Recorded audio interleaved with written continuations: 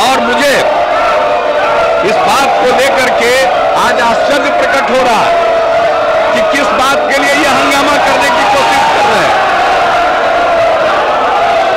ये आप जान लीजिए, जिस तरह से आज तक इनको जब भी कुछ कहे हैं और उसके बाद इन पर उल्टा असर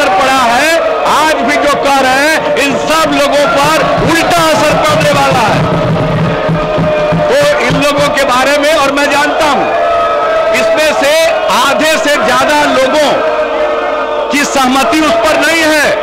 लेकिन आदेश आ गया। कहाँ से? रांची से आदेश आ गया। तो इसके लिए जो मन में आए बोल रहे बोलते रहिए, मस्त रहिए।